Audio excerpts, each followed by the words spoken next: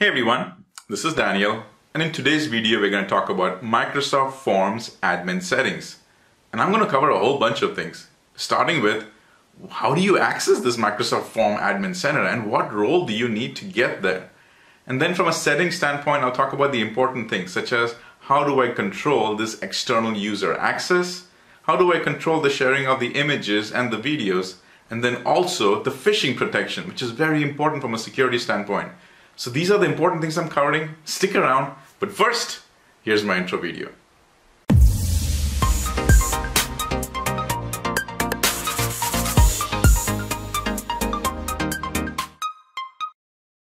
So let's get started. So the first thing I want to talk about is where is this admin settings altogether for the Microsoft Forms, right? And we'll talk about the role that you need, but let's just figure out where it is because here's what I'm thinking is when I come to the Microsoft Forms and I go to the top right, which is the settings gears, I don't see really admin settings settings over here. Also, if I go and create a new form and on the new form, now I actually see a settings gear. This information is tied very specific to the form level. So where is this admin settings for Microsoft Forms? Now, when I looked into the documentation, here's what I found is you actually have to go to the Microsoft 365 Admin Center. Then you got to expand the whole thing just to make sure you're seeing it. Go to settings, go to org settings, and in the org settings, as you scroll down just a little bit, you see the Microsoft Forms. And when you click on the Microsoft Forms, this is now what you see at the tenant level. Like you're controlling the entire usage of the Microsoft Forms. And as you can see, it's got a lot of information and ability over here. You control the external sharing. You control all the record names in your organization, the allowing of the YouTube and the Bing, which is the images and the videos that you can add, and also the phishing protection. But more of this to come in a minute. So now that we know where it is, the next thing which you think of is what role level access do you need to get over here? Because me, doing this demo that I just showed to you, I'm a global level access. I'm a global admin, which means I got Uber level access to get over here. But if you're a company which follows the least privilege access or separation of duties, then finding that exact security level is very important. All right. So some of the big roles that I tried, because I thought, you know what, they already have great amount of access. Maybe they will also have access to this is the SharePoint Online, Exchange Online, and the Microsoft Teams. Any of these admin centers. I tried those and I'll tell you, it didn't work out very well. I also went and tried these other ones. There was actually two other ones, which was the Global Reader, and there's also called Service Support Admin. And I tried those as well. And I tell you, I didn't really find a lot of information from them. The Global Reader was able to at least read it. So let me let me show that to you, right? So let's do the first one, which is the SharePoint Online Admin.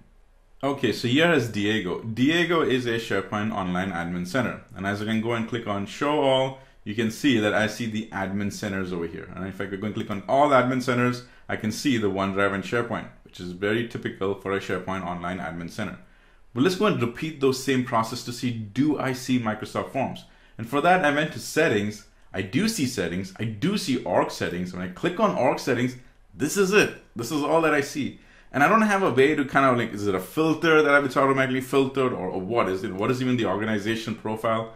Like, no, this is it. So we already went ahead and kind of X'd out the SharePoint online admin setting option. Like, okay, that didn't take care of that.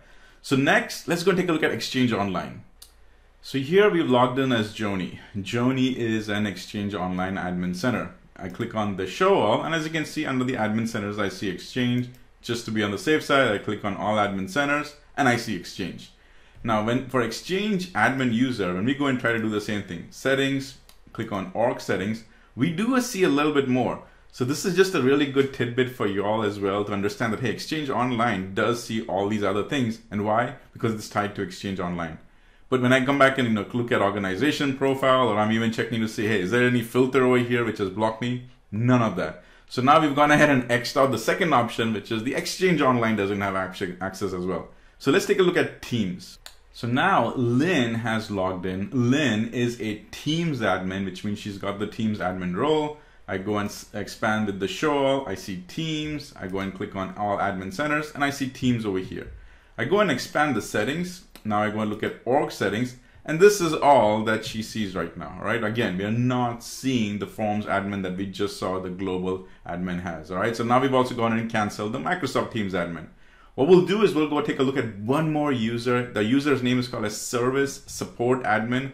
That kind of sparked my curiosity a little bit because I thought that that service support admin takes care of all these other admin settings, which we know we specifically didn't see on the SharePoint Exchange. So let's let's go take a look at that and see what happens over there. I've logged in as Isaiah. Isaiah that has very specific called service support admin. It's actually a role.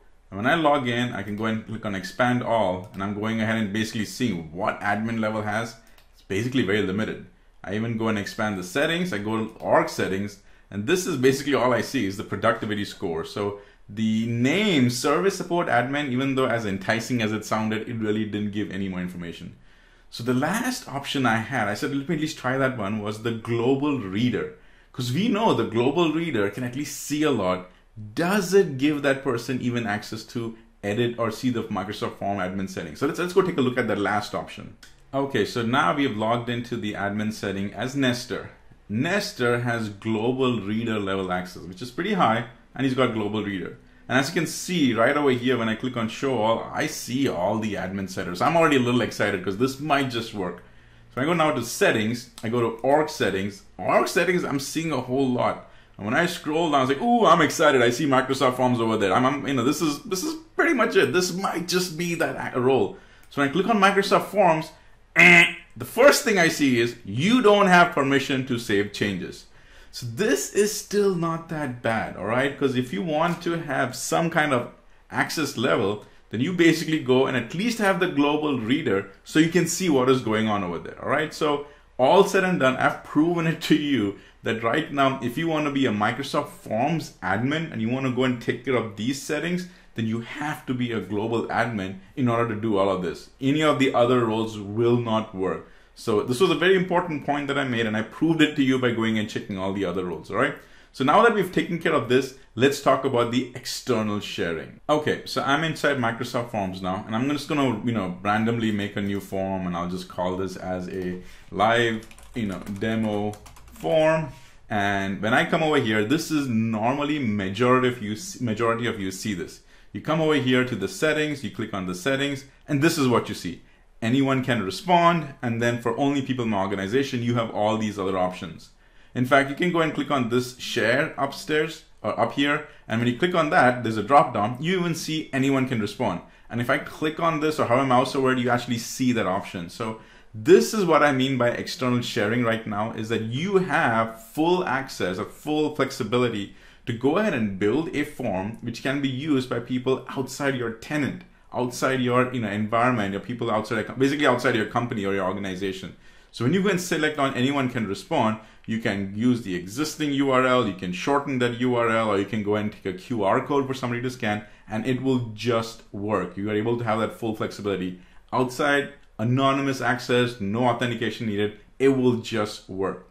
So the question is then, Daniel, how do I block this? And for that, we got to go back to the Microsoft Forms Admin Center. So let's go take a look over there.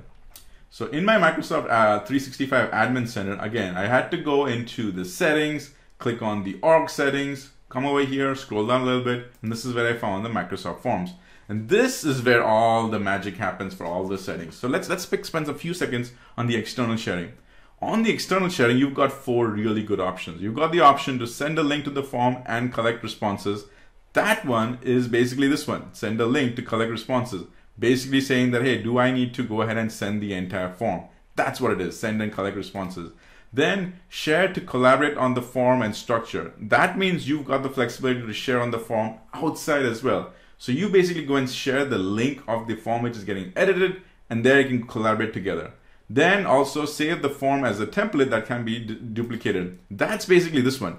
Share as a template that's the link that you go and share. So, hey, you went and spent some time building a form. I want to share this entire form with the whole world. Well, you create that link, send it to someone. Someone can open it up in their tenant and save it in their tenant across the two tenants over there. And then there's also the fourth option is share the form results summary. So that's the four options for the external sharing.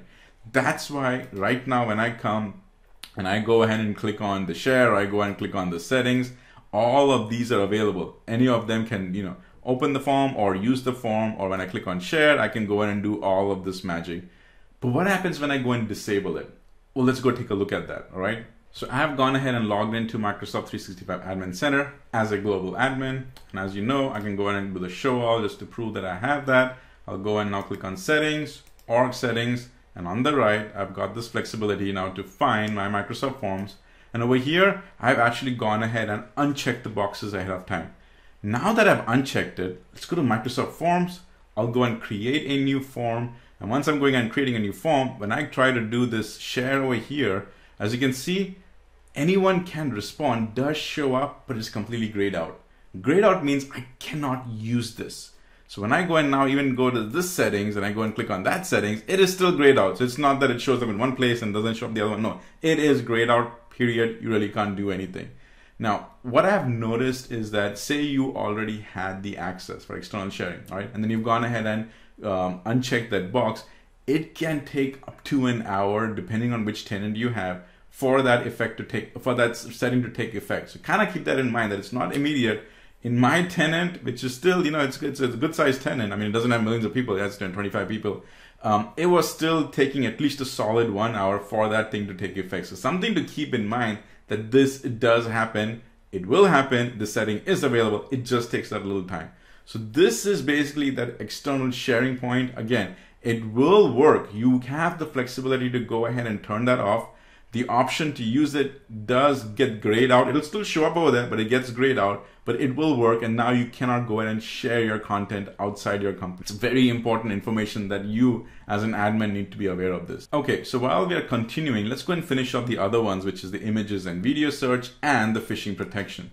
So let's go back into the Microsoft Forms. And in our Microsoft Forms, what I've done is I'm gone ahead and now actually unchecked the box for including Bing search and YouTube videos.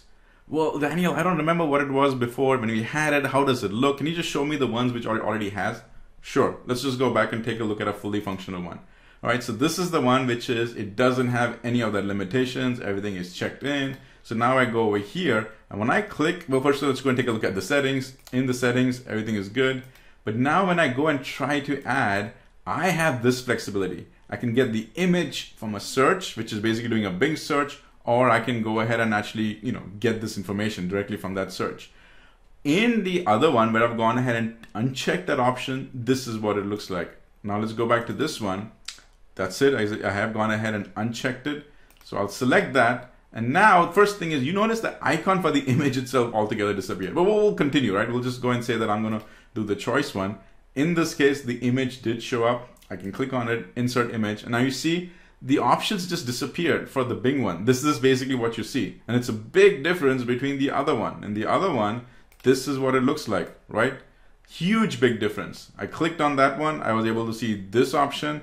Over here, I'm able to see the image and the video option. So very important piece that you understood is that when you go and disable that functionality for getting the um, image and the YouTube videos, um, you are able to still use your own videos from your OneDrive. The setting to use it is completely different. Still very intuitive, just completely different. Right. Now, last but definitely not the least, let's take a look at the phishing protection. All right, let me go to the one which already has it turned on. All right, I'll go over here and it basically says the phishing protection is allow users and your organizers to add images from Bing and YouTube, which is all great so what exactly is the phishing, uh, phishing protection? It is proactively scanning forms for your in-org responses and will automatically block them if they have any type of phishing questions detected. A great phishing question is getting any of the personal information like social security number. If any of that shows up, it will block it and it will go ahead and send you a message in your admin notification center. Basically in the message center, it'll go and send you a notification that, hey, this form does have that phishing information because it's asking for personal information. And by message center, what it means is right here. When I come over to the left side, I have health. When I expand the health, this is where I have message center. And in the message center, a message will actually come up saying that, hey, it did identify one of the forms, which is potentially a phishing type of form because it's gathering personal information. And what it will do is it'll actually go ahead and block the use of that form. Like the submit button actually gets grayed out it takes it to that level. So it's a very important tool. That's something that you need to be aware of. So hopefully this video was helpful to you. Now you kind of have a little bit more thorough understanding of what this Microsoft Form admin settings is all about. I even showed you what role do you need to actually get there and what are the important settings available to control the features in these Microsoft Forms. So hopefully was helpful and as always, keep using Microsoft Forms. Thank you so much for watching my YouTube video. Remember, this is all free with fresh content that is updated on a weekly basis. So if you've already subscribed to my channel, thank you and spread the word. If you haven't already, subscribe, click on the bell notification, and let the learning begin.